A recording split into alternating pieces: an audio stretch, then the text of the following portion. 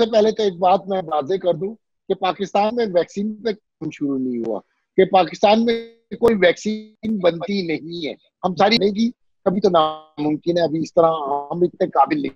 आ, हम तो कुत्ते के काटने की वैक्सीन नहीं बना सके सांप के काटने की वैक्सीन नहीं बना सके तो कोरोना की वैक्सीन तो, तो कोई दूर की बात है। अच्छा जहाँ तक वैक्सीन का मार्केट में आने का सवाल है कि दुनिया में कोई भी बड़ी बड़ा जो अवेलेबिलिटी होगी। तो वो दिसंबर या जनवरी में कह रहे हैं।